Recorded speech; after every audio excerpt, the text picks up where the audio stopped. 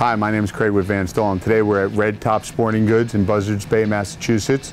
And what I'm going to do is I'm going to show you how to put braided line on a VS or VSB spool. And what we want to do is put it on with a line winding machine and use about three to five pounds of pressure. So you can go to your local tackle shop, your Van Staal dealer, and have them spool up that line, and it'll lay nice and flat on the spool. We're going to get started now. We have a little mono backing on this that's going on a 200 spool, uh, and we'll start lining that up right now. And what we want to do is we want to hump the center of the spool. So you're going to spend a little more time in the center. So it's going to be kind of center, center, side, side.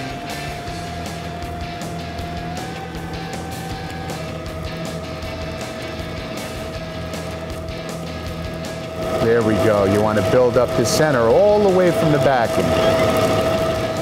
You can see how that line is humped in the center.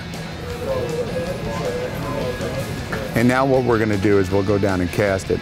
But the reason that you do this is so that after your first cast, it's going to lay out completely flat on the spool. So that's a way to get your braid packed on nice and tight and then you're going to have a nice flat line lay for better castability and line management. Let's go check it out.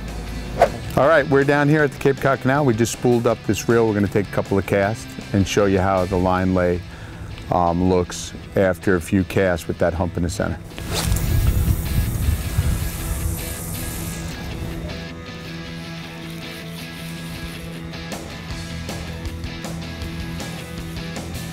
All right, let's take a look at how this line looks here.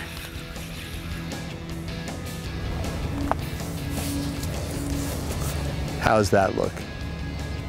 First cast, and you'll find it's gonna stay like that. The only way that it's gonna go and it's gonna hourglass is if you dump the entire spool. But the important thing is that you start at the backing.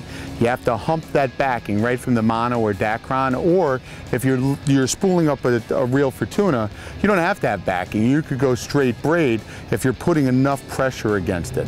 But the key is that you start that hump from the very bottom of the spool all the way to the top and you're gonna love it. Let me know what you think.